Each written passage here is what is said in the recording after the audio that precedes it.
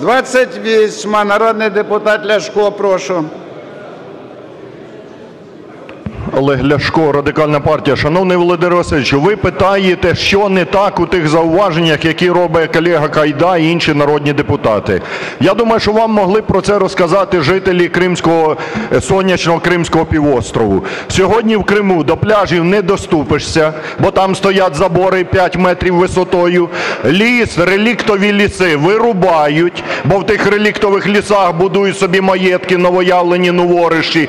І саме тому оці поправки, які зараз пропонуються, щоб дати кримській владі погодження на вилучення самостійне лісових насаджень, завтра в Криму лісу не залишиться взагалі. Кримчани і мені в тому числі пишуть масово звернення щодо вакханалії, яка робиться із багатолітніми насадженнями зеленими в Криму. І тому я пропоную і колегам із удару, які підтримують ці поправки, ви подумайте, будь ласка, чи можна сьогодні в Криму десь в ліс зайти, чи можна до моря добратися? Ні, не можна, бо там стоять приватні оселі і п'ятиметрові забори. Я пропоную припинити цю вакханалію